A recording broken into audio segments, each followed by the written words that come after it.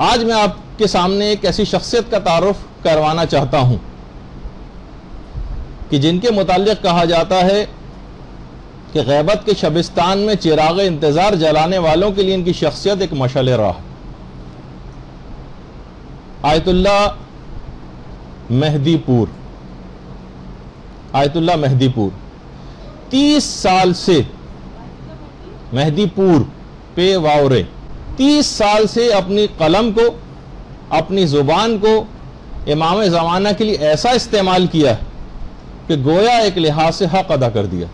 जब इनसे एक दफ़ा सवाल पूछा गया, एक इंटरव्यू लिया गया दरमियान में जो, अतुल्ला मेहदीपुर, कि आपने आखिर अपनी तमाम तर तवज्जोहात का मरकज़ फ़कत इमाम ज़माना की ज़ात गिरामी को क्यों करार दे दिया गया, करार दिया है?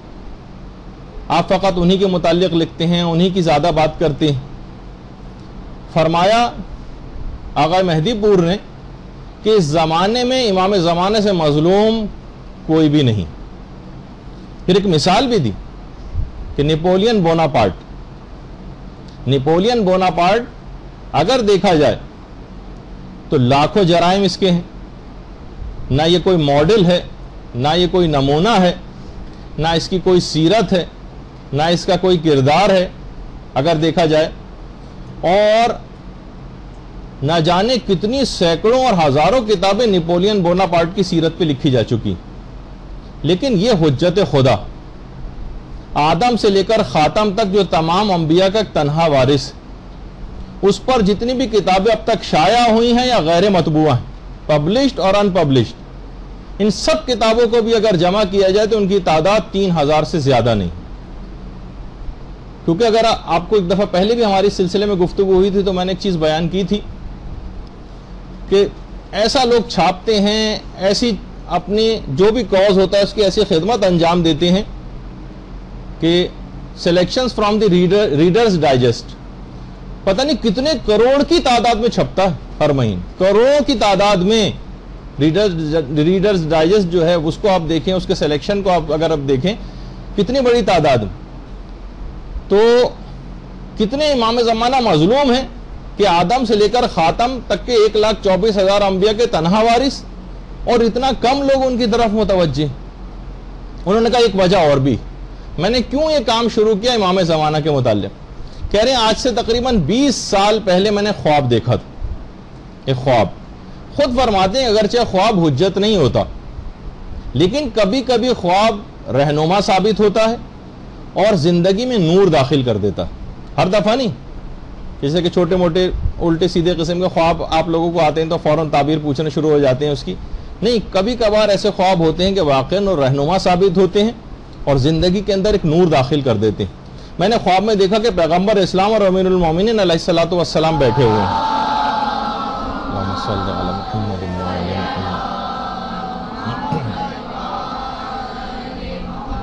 और साथ ही पैगंबर इस्लाम और अमीरमिन के साथ ही हज़रत हमजा सैदुलशहदा और मालिक अश्तर मालिक अश्तर, ये भी उनके साथ ही बैठे हुए हैं कि मालिक अश्तर की खबर है आपके सामने।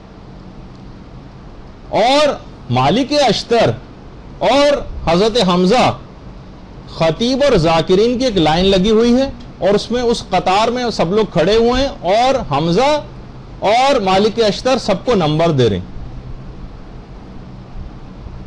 कह रहे मैं मुतमिन था, मैं भी कतार में लगा हुआ था। उस जमाने में मैं जवान था और खूब मुतालिया भी करता था। ज़ाहिर है कि मदरसतुल कायम की में तो दाखिला नहीं लिया हुआ था कि यहाँ आने के बाद किताबों वगैरह पढ़ने के ऊपर पाबंदी लग जाए। यानी कि जैसे कि ज़ाहिर है कि इतने अरसे से आपकी खिदमत अंजाम दे रहे हैं, मालूम तो चलता है ना कितनी खातन किताबें पढ़ रही हैं, लाइब्रेरी से कितना इस्तेफादा कर रही हैं। यहाँ तो हमें ये वाली सूरत हाल ज़्यादा आप लोगों की नज़र आती है, जैसे ताला लगा दिया गया और किताबें पढ़ना बिल्कुल मौकूफ़ कर दी। कहते हैं, मैं खूब मुताल भी करता था और मैं मुतमिन था कि मुझे तो बहुत ही अच्छे नंबर मिलेंगे। मुफीद तकरीरें करता था और मैं इतमान में था कि कम से कम नब्बे नंबर तो सौ में से मुझे ज़रूर मिलेंगे। मैं हज़रत सैदुलशहदा के पास जब पहुँचा तो हज़रत सैदुलशहदा क्योंकि हज़रत हमज़ा का भी एक लकब सैदुलशहदा जब इमाम हुसैन के बाद फिर मखसूस हो गया हमारे इमाम हुसैन के लिए, लेकिन बहरहाल उनका भी एक लकब है। मैं उनके पास जब गया तो देखा कि मुझे साठ नंबर दिए। साठ। मैंने उनसे तो कुछ नहीं कहा। वो अपनी कॉपी लेके मैं पैगंबर इस्लाम के पास आया कि, और शिकायतन मैंने कहा कि, या रसूलुल्लाह, देखिए, इतने कम नंबर से साठ नंबर मुझे हज़रत हमजा ने दिए। पैगंबर ने कहा कि, जाओ मेरे चचा हमजाई से जाकर दरियाफ्त करो कि ऐसा क्यों हुआ, किया मैं दोबारा हज़रत हमजा के पास आया। कहा कि इतने कम नंबर। फरमाया, तुम हर हवाले से तकरीर तो बहुत अच्छी करते हो, अलबत्त एक चीज़ की कमी है। तुम अपने जमाने के इमाम के मुतालिक बहुत कम गुफ्तु करते हो। अच्छा कह रहे हैं कि बस, उसके बाद कहा कि मैं, उसके बाद ख्वाब से बेदार हुआ और उसके बाद मैंने अहद कर लिया कि अपनी तकरीर का तीसरा हिस्सा इमाम जमाना की ज़ात गिरामी के लिए मखसूस कर दूँ।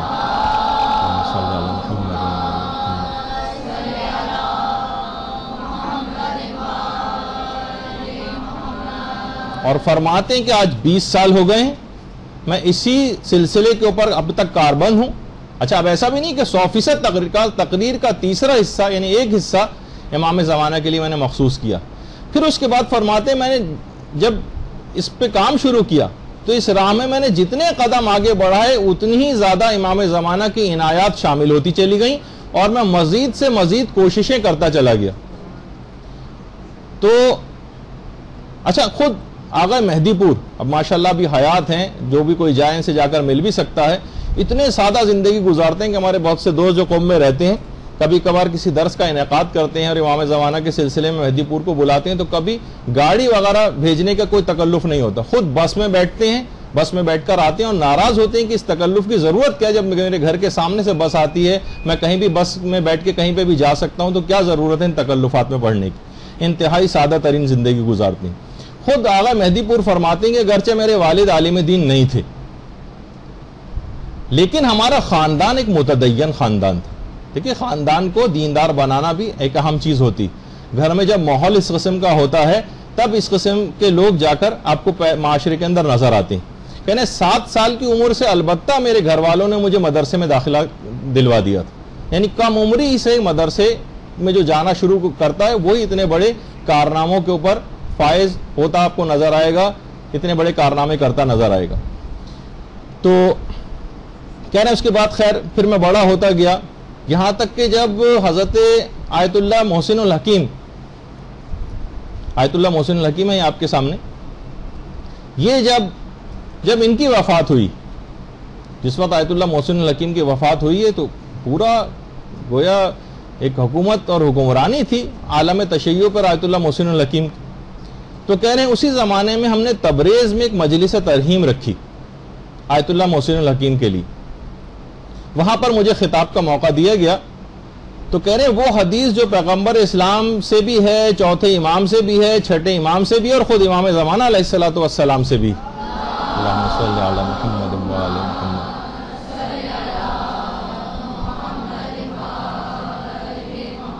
कि हज़रत हजत की गैबत में मिसाल एक सूरज की सी, सूरज की, जो बादलों की ओट में होता है, वो जो पूरी है, मैं उसका मफहम बता रहा हूँ, और उससे सारी कायनात को और पूरी दुनिया को इससे फैस पहुँचता। तो कह रहे हैं, एक इस सिलसिले में एक नुक्ता जो इससे पहले कभी बयान नहीं हुआ था, वो मैंने एक और नुक्ता वहाँ पर बयान किया कि सूरज का एक अहम तरीन फ़ायदा निज़ाम जहान की बका भी। यानी अगर सूरज को निकाल दिया जाए, यानी निज़ाम शमसी में जो सूरज का किरदार है, वो उसकी जो कुत जाजिबा इसके अंदर सूरज के अंदर पाई जाती है कुत जाजिबा। और आपको पता है कि रिपल्शन की एक कुत होती है और एक अट्रैक्शन की कुत होती है। तो कह रहे हैं, इनका आपस में जो तादुल एक दूसरे को जो न्यूट्रलाइज करते हैं और अपने अपने मदारों के अंदर रहते हैं। ये सूरज का बहुत बड़ा इस सिलसिले में काम है। तो कहा कि मैंने इस पर पूरा एक मकाला लिखा और उसके बाद इस मकाले को को मैंने आयतुल्ला नासिर मकारिम शिराजी को दिखाया जो उल्टे हाथ पे आपको नज़र आ रहे हैं आयतुल्ला नासिर मकारिम शिराजी।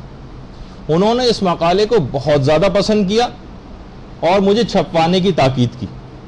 कहते हैं कि अलबत्ता ये जो आ, सूरज बादलों की ओट में जो फ़ायदा पहुंचाता है दुनिया को अगरचे अल्लामा मजलिसी ने इस हदीस में जो तशबी बयान की है उसमें आठ वजूहत ज़िक्र किए हैं कि ये तशबी क्यों बयान हुई। मैंने जो काम किया था वो नवी वजह बनती थी। ये मेरा पहला काम था जो बत्तीस साल में बत्तीस साल पहले मैंने किया था। कहने उसके बाद बस एक तोफ़ीक़ात का एक दरवाज़ा खुल गया और इमाम ज़माना पर मुख्तलिफ़ मौजूद के दरवाजे खुलते चले गए और मैं काम करता चला गया। उसके बाद मैंने किताब लिखी, वो आएँगे। एक किताब मैंने लिखी और जो अब तक दस बार छप चुकी, दस बार छप चुकी। उसके बाद मैंने योमुल खलास का तर्जुमे का काम शुरू किया। दो जिल्दें हैं योमुल खलास की और शेख कामिल सुलेमान की। और तेरह सौ से ज़्यादा सफ़ात हैं और इसमें अट्ठारह हज़ार पाँच सौ अहादीस पर मैंने एराब लगवाए। अट्ठारह हज़ार पाँच सौ। और आपने देखा होगा कि हर किताब के शुरू में एक इंडेक्स होता है। मैंने 18 किस्म की फहरिस्तें तैयार की इसके लिए। उसमें लगवाई, क्योंकि काम इससे पहले कभी भी नहीं हुआ था जिससे ये किताब इंतहाई मुफीद हो गई। कोई शख्स चंद मिनट में ही अपना मौजूद में तलाश कर सकता है उन फहरिस्तों को देखने के नतीजे में। कह रहे हैं, उसके बाद फिर मैंने किताब यूसुफ जहरा भी लिखी। यूसुफ जहरा। और इमाम पर जो 40 अहादीस थी, जिसमें 40 किताबों और 40 मुसन्फिन का तारुफ करवाया गया था, वो मैंने लिखी, जिसमें 40 अहादीस ज़िक्र हुई हैं। उसकी तमहीद में जो लफ्ज़ और कलेमा है 40 उसकी 40 अहादीस की से मैंने तशरी की, जिसमें 40 का लफ्ज़ ज़िक्र हुआ। और इन तमाम कामों के सिलसिले में मैंने यूरोप का दौरा किया, तुर्की का दौरा किया और अस्तंबुल का जो कुतुब खाना है, सलमानिया है, उसमें चार लाख कलमी नुस्खे हैं, जिससे ज़्यादा यानी प्रिंटेड भी नहीं, हाथ से लिखे हुए। वो मैंने इन सबको चेक किया, इमाम जमाना के सिलसिले में अहादीस निकाली और इस काम में मुझे 20 साल लग गए। 20 साल कुतुब खाना सलमानिया में चार लाख कलमी नुस्खों को छान छान के 20 साल वहाँ पर इन्होंने गुजारे और ये भी आगा मेहदीपुर फरमाते हैं, बहुत अहम बात, कि देखिए, तबाही बात कि कोई भी इमाम ज़माना के हवाले से जब भी कोई खिदमत अंजाम देता है, या कोई भी मुखलिसाना काम करता है तो उनकी खुशनुदी उस शख्स के ऊपर और एक खसूसी तवज्जो और इनायत इमाम ज़माना की उस शख्स पर होने लगती।